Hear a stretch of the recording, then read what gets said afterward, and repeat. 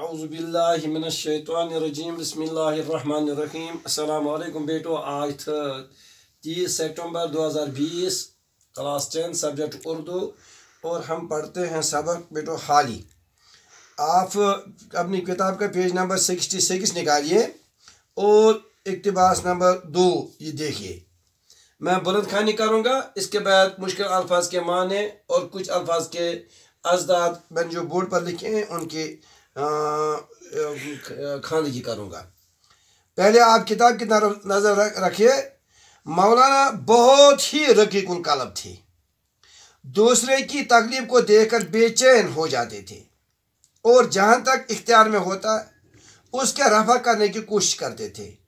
हाजत हाजतमंदों की हाजत रवा करने में बड़ी फराक दिली से काम लेते थे। बावजूद ये कि उनकी आमदनी कलील थी लेकिन अपने पराए खसूस मुसीबत ज़्यादा लोगों के साथ सलूक करते रहते थे। सफारशें करके लोगों के काम निकालते थे। इसमें बड़े छोटे की कोई तखसीस न थी। बामुरावत ऐसे थे कि इनकार नहीं कर सकते थे। इस कलील आमदनी पर भी हाजतमंद उनके हाथ से महरूम नहीं जाते थे। बेटो, इसके बाद आप मुश्किल अल्फाज के माने जो मैंने बोर्ड पर लिखे हैं रकीकुल कालब का मतलब है नरम दिल। बेचैन। इसका मतलब है, बेटो, बेकरार। रफा का मानी है दूर। फराक दिली का माने है कुशाद दिली। कलील का माने है कम। तखसीस का मतलब है खसूसियत। महरूम का माने है खाली हाथ।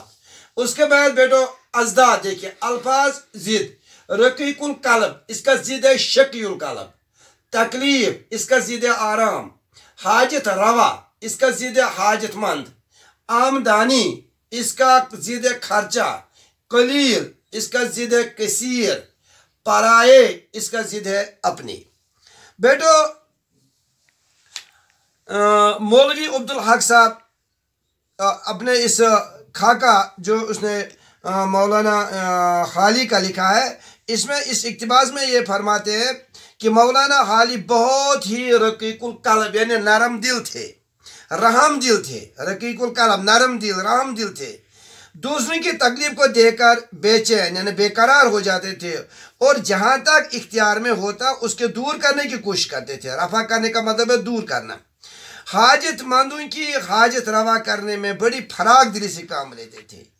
यानी जो लोग अपना कोई हाजत लेकर, हाजतमंद उसके साथ जो हाजत लेकर आते हैं मौलाना हाली वो हाजत पूरा करने में बड़ी कशाद दिली से काम लेते थे। बावजूद कि उनकी आमदनी कलील यानी कम थी, लेकिन अपने परा यानी दूसरों के खसूसियत, मुसीबत ज़्यादा मुसीबत में जो लोग मुबतला होते थे, उनके साथ अच्छा सलूक करते रहते थे।